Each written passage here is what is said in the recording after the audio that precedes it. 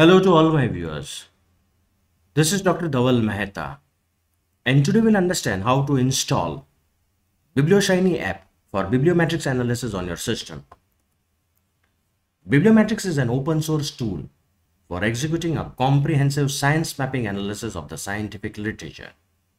It was programmed in R language to be flexible and facilitate integration with other statistical and graphical packages. BiblioShiny allows no coders to use bibliometrix. It is developed in the Shiny environment. Just install and load bibliometrix, activate its library and type BiblioShiny and you are ready to go. BiblioShiny app can support the databases such as Web of Science, Scopus, Dimensions, Lens.org, PubMed, Cochrane, OpenAlex. It can read the file formats such as plain text, BibTeX, CSV, CIW, zip files, and RData. BiblioShiny combines the functionality of Bibliometrix package with the ease of use of web apps using the Shiny package environment. Now, how we can use this? So for this, first of all, we will install R and R Studio. So how we can do this? In Google, write POSIT R, download R Studio. Scroll you will get RStudio desktop. Click on download RStudio. Again, you will get two options. Install R, install RStudio. So download and install R. So you will get its exe file, run it. And then download RStudio desktop. You will also get its exe file, run it. After running this, you will get this type of screen.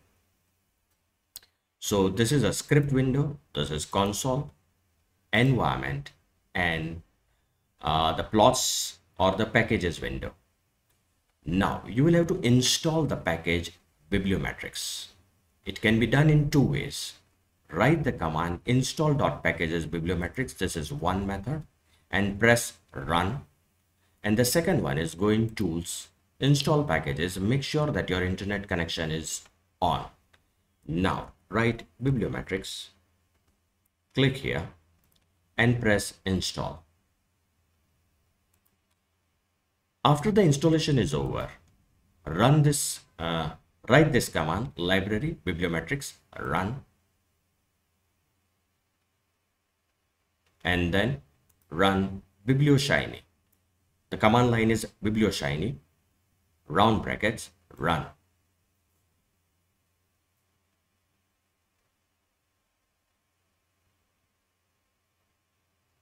Just wait for a moment.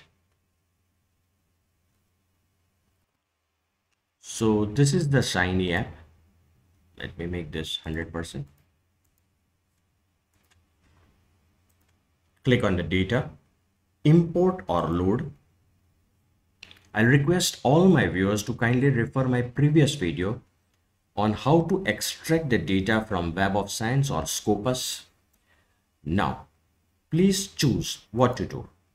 So import the raw file, activate the Scopus, browse, and I'll connect this Scopus data, open and start.